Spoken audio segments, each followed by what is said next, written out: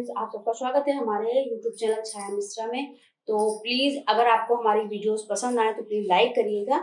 चलिए देख लेते हैं आज की हमारी वीडियो देखिए गाइस इस समय सावन चल रहा है तो सावन के महीने में सभी लोग लगभग सोमवार का व्रत सभी लोग रखते हैं तो उनके लिए हम लेकर के आए हैं रेसिपी जो कि व्रत किससे रिलेटेड है, यानी व्रत की रेसिपी है, जो आप व्रत में खा सकती हैं।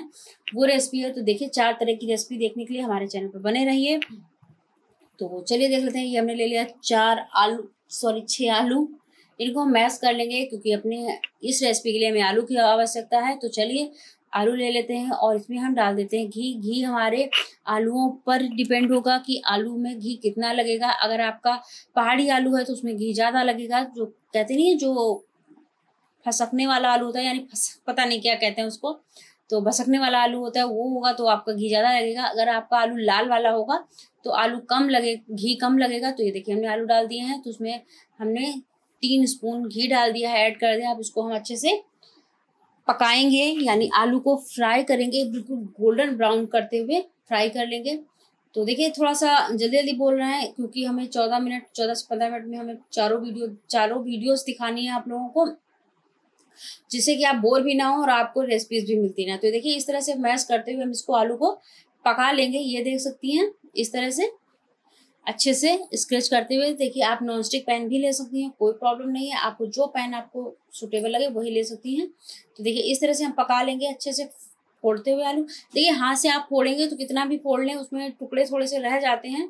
तो क्या करना है हमें इस तरह से फ्राई करते हुए बढ़िया दबा दबा कर फ्राई करना है, जिससे कि इसका सारा का सारा मॉइस्चर हट जाए, हमें इतना ही पकाना है कि इसका मॉइस्चर सारा हट जाए, जो कि हमारे आलूओं के हल, आलू के हलवे को या आलू की रेसिपी को स्वाद मिले और टेस्ट मिले और इसका सारा का सारा मॉइस्चर निकल जाए।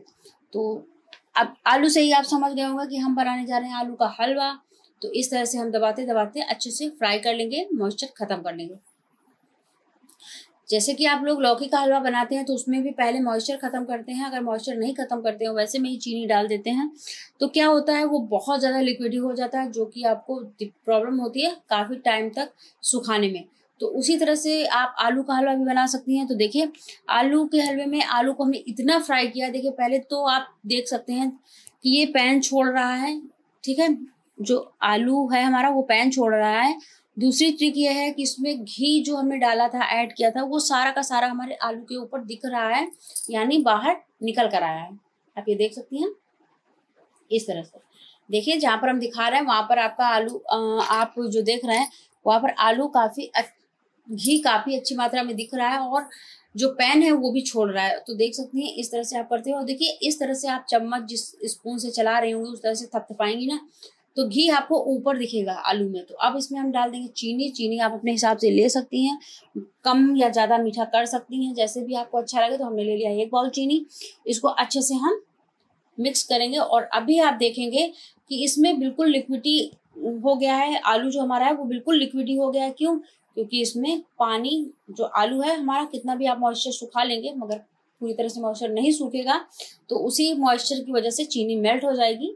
और ये लिक्विड ही हो जाएगा। तो देखिए, अब इस तरह से हम पका, चलाते हुए पकाएँगे तो देख सकते हैं, आलू का हलवा हमारा बन चुका है लगभग। देखिए, ये देखिए, इस तरह से घुमा रहा है तो ये पैन छोड़ रहा है तो इसका यही एक इंडिकेशन होता है कि आपका आलू का हलवा तैयार है। तो चलिए, देखिए, हमने सर्व कर दिया है इस तरह से प्लेट में।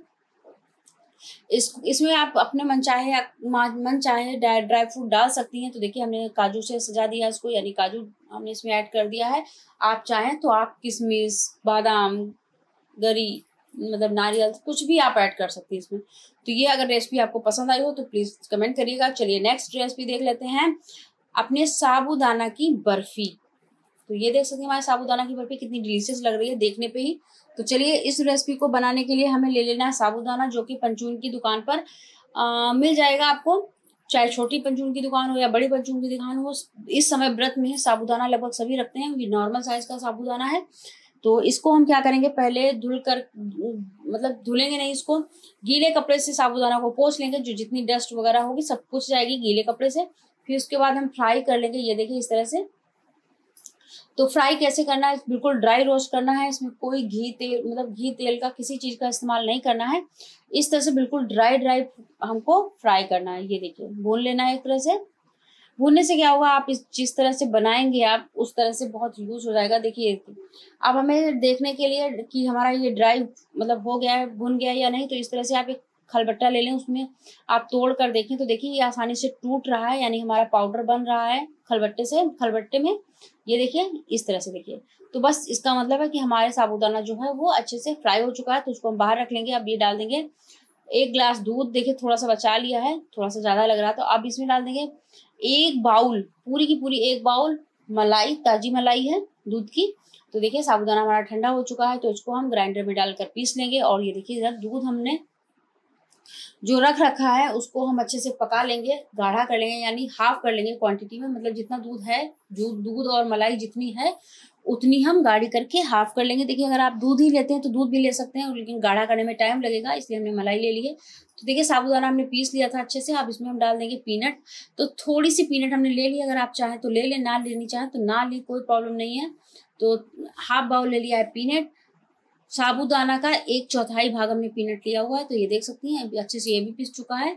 तो अब इसमें क्या करेंगे, अपना जो दूध हमने बॉयल कर रहे थे, दूध और मलाई उसका हाफ़ क्वांटिटी में हो गया तो हाँ तो हम इसमें चीनी डाल देंगे तो एक बाउल हमने चीनी ले ली है। उसको इसमें ऐड कर दिया आप चीनी मेल्ट होने तक उसको अच्छे से पकाएँगे, यानी चीनी और पानी अच्छे से मेल्ट हो जाए। तो देखिए, चीनी अच्छे से मेल्ट हो चुकी है तो इसको पका लेंगे, क्योंकि जब चीनी मेल्ट होती है तो वो पानी लिक्विडी फॉर्म में आ जाता है तो उसको हमें पका लेना है, जिससे कि ठीक हो जाए। तब तक आगे के प्रोसेस हम कर लेते हैं, जैसे कि ये हम लगा देते हैं इसमें घी, जिससे कि हम इस पर अपना जमाएँगे तो इस तरह से हमने घी लगा दिया है। अब हम अपना एक पैन में चार स्पून घी डाल देंगे और घी मेल्ट होने तक मेल्ट हो जाएगा घी। देखिए, अब उसमें क्या करेंगे? साबुदाना और पीनट हम ऐड कर देंगे, इसको हम फिर से फ्राई करेंगे। तो देखिए, साबुदाना को अब हम घी में फ्राई करेंगे। इस तरह से अच्छे से ये देख सकती हैं।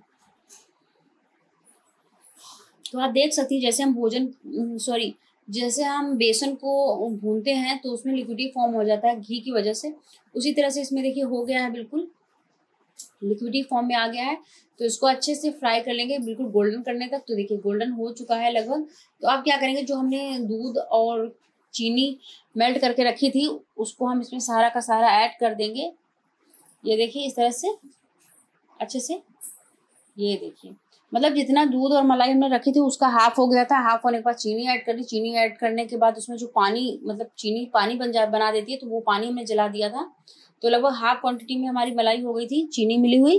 तो इसको हम क्या करेंगे? अब इसमें अपने डाल दिए हैं। अब इसको पकाते रहेंगे।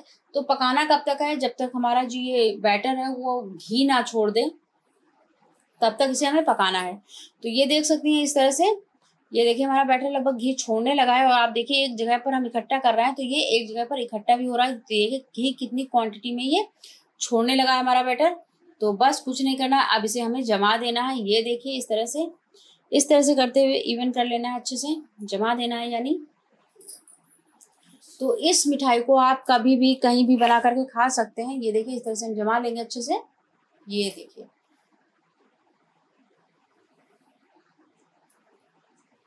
ये देखिए, जमा दिया है तो 10 मिनट के लिए रेस्ट होने के लिए रख देंगे क्योंकि ठंडा हो जाएगा। ठंडा होने के बाद ये अपने आप सेट हो जाएगा। तो ये देखिए, आपको थोड़ा थोड़ा सा बिल्कुल स्मूथ चिकना नहीं दिख रहा होगा। तो ये साबुदाना की बनी हुई है, इसलिए स्मूथ और चिकनी नहीं दिखेंगी। आप क्या करेंगे, एक नाइफ ले लेंगे और नाइफ से अपने हिसाब से कट कर लेंगे। जितनी पीसेस आपको चाहिए थोड़ा सा ये सॉफ्ट ही रहती है। क्योंकि ये साबुदाना से बनी हुई है तो आप देख ही सकते हैं। ये देखिए, इस तरह से हम कट कर लेंगे। तो आप जैसे भी आकार में चाहें, वैसे आप कट कर सकते हैं। तो ये देखिए, अब आप देख सकती हैं, हम आपको तोड़कर भी दिखाएँगे। ये देखिए गाइस कि कितनी ज़्यादा अमेजिंग लग रही है हमारी ये रेसिपी ये देखिए, एकदम सॉफ्ट और एकदम यमी लग रही है देखने में। तो ये देखिए, इसको हमने ड्राई फ्रूट यानी हमने बादाम से सजाया हुआ है। आप अपनी इच्छा से जैसे चाहें, वैसे सजा सकती हैं। बहुत टेस्टी बहुत यमी लगती है। तो अगर हमारी ये रेसिपी आपको पसंद आई हो तो एक कमेंट ज़रूर करिएगा इस रेसिपी के लिए। चलिए नेक्स्ट रेसिपी देख लेते हैं। साबुदाना की नेक्स्ट रेसिपी है तो ये देखिए। ये साबुदाना एक बार ले लिया था, जिसको हमने पंद्रह से बीस मिनट के लिए भिगो कर रख दिया था। ये देखिए इस तरह से।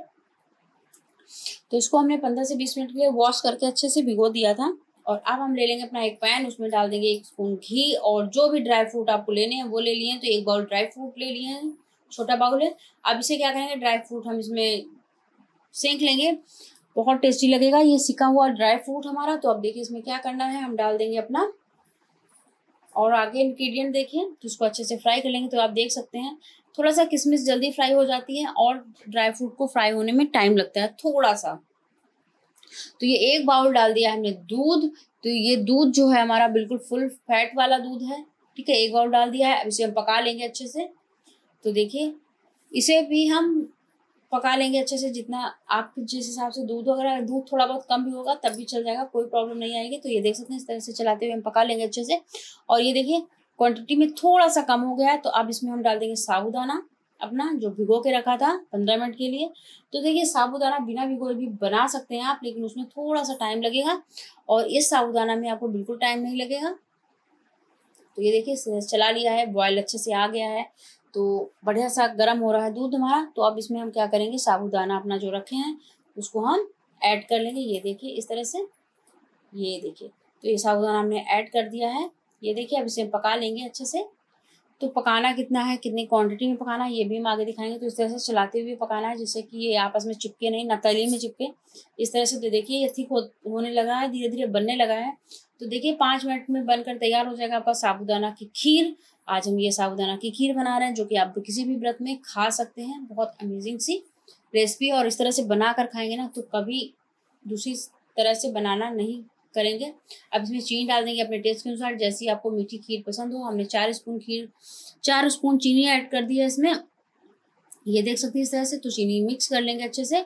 और देखिए, अब इतना ही थिक हम रखेंगे, क्योंकि ये ठंडा होने के बाद में और भी थिक हो जाएगा। तो ये देखिए, चीनी हमारी अच्छे से मेल्ट हो चुकी है और ये पक भी चुका है आसानी से और साबुदाना आप देख सकती हैं कि बिल्कुल ट्रांसपेरेंट दिखने लगा है थोड़ा थोड़ा सा। तो ये देखिए, अभी ये बिल्कुल ट्रांसपेरेंट हो जाएगा, इतना हमें पकाना है। तो ये देख सकते हैं इस तरह से। तो देखिए, साबुदाना की खीर बनकर तैयार है और आप साबुदाना देख सकते हैं, बिल्कुल अच्छे से ट्रांसपेरेंट दिख रहा है और कितना अमेजिंग कितनी अमेजिंग रेसिपी है। ये एक बार इस तरह से आप खा कर देखेंगे ना, इतनी टेस्टी यम्मी तो बहुत अच्छी लगेगी। और ये साबुदाना की खीर आपकी जमेगी भी नहीं, जैसी है, बस बिल्कुल वैसी ही रहेगी। देखिए पास से दिखा रहे हैं बिल्कुल। तो आई होप आपको ये रेसिपी भी अच्छी लगी होगी। और अच्छी लगी तो लाइक करिएगा। चलिए नेक्स्ट देख लेते हैं। अपना पीनट का हलवा, जो कि बहुत टेस्टी और बहुत यम्मी बनकर आता है। देख ही सकते हैं कि कितना यम्मी लग रहा है देखने पे। एकदम टेस्टी एक बार ये बना कर रख लीजिए। और आप आराम से खाइए, दो से तीन दिन बिल्कुल खराब नहीं होने वाला क्योंकि ये बहुत अच्छा बहुत टेस्टी लगता है पीनट का हलवा। तो चलिए, इसे भी बनाना शुरू कर देते हैं। तो ये देख सकते हैं हमने ले ली एक बॉल पीनट ये कच्ची पीनट है तो उसको हम रोस्ट कर लेंगे। ड्राई रोस्ट करेंगे तो ये देखिए इस तरह से। तो इसे ड्राई रोस्ट कर लेंगे हम। चलाते हुए अपने पैन में ऐड करके इस तरह से। ये देखिएगा इस तरह से हम अपने पैन में ऐड कर लेंगे। और इसे रोस्ट करेंगे। ये देखिए हल्का हल्का सा रोस्ट होने लगी है तो इसी तरह से हम रोस्ट कर लेंगे, क्योंकि रोस्ट करने, करना ज़रूरी है, जिससे कि इसका कच्चे फन का फ्लेवर जो होता है, निकल जाता है। बढ़िया रोस्ट हो गई इनका छिलका भी निकाल दिया है, देखिए, थोड़ा सा वीडियो जल्दी जल्दी बना रहे हैं, क्यों? क्योंकि पंद्रह से दस से पंद्रह मिनट में हमें चार की चारों वीडियो दिखानी है इसलिए। तो देखिए, छिलका निकाल दिया है अपने आराम से छिलका बहुत आसानी से निकल जाता है और इस तरह से ग्राइंड कर लिया, देख सकते हैं आप दाना दाना इसका निकल आया है। अब ये ले लिए चीनी। चीनी क्या करना है, ये भी देखते हैं। चीनी डाल दी अपनी पैन में हमने इस तरह से और अब हम डाल देंगे, देखिए, ये देखिए, जिस सर्विंग स्पून से हमने डाल दिया है हाफ़ सर्विंग स्पून मलाई बिल्कुल। देखिए, अगर आपके पास दूध नहीं है, मलाई है तो आप मलाई डाल दीजिए, कोई प्रॉब्लम नहीं होगी और इसमें अब हम ऐड कर देंगे पानी तो एक बॉल पानी ऐड कर दिया। है ये देखिए इस तरह से मलाई भी हमारी मेल्ट हो जाएगी और चीनी भी मेल्ट हो जाएगी। देख सकती हैं? अगर आपके पास दूध है तो आप दूध भी ऐड कर सकती हैं पानी की जगह, इस तरह से। तो ये देख सकती हैं, आप इसमें हमने अपना पीनट डाल दिया, आप इसे अच्छे से पका लेंगे। ये देखिए। अगर आप दूध डालती हैं तो आपको दूध को पकाना पड़ता है काफ़ी समय तक। हमने पानी ऐड किया है इसलिए तो हमें ज़्यादा पकाना नहीं पड़ा है। तो देखिए, हमारी जो पीनट है, वो अच्छे से फूल रही है इसमें। अच्छे से कुक हो रही है तो उसमें ड्राई फ्रूट भी हमने ऐड कर दिया साथ में। इस तरह से। तो अब हम क्या करेंगे? इसे अच्छे से चलाते हुए पकाएँगे। तो ये आप सोमवार में भी खा सकते हैं नवरात्र में भी खा सकते हैं। मतलब किसी भी व्रत में ये चार की चारों रेसिपियाँ आप यूज़ कर सकती हैं। बहुत टेस्टी और बहुत अमेजिंग रेसिपी है। तो इसको तो इसको अब हम इसी तरह से पकाते रहेंगे। तो देखिए हमारे पैन ने घी छोड़ना मतलब हलवे ने घी छोड़ना शुरू कर दिया तो हमारी रेसिपी बनकर तैयार है। ये देखिए सर्व कर दिया बस घी निकलने तक हमें हलवा बनाना होता है। और अगर हमारी ये चार की चारों रेसिपी आपको पसंद आई है तो लाइक सब्सक्राइब एंड शेयर करिएगा। मिलते हैं नेक्स्ट डे नेक्स्ट रेसिपी के साथ। बाय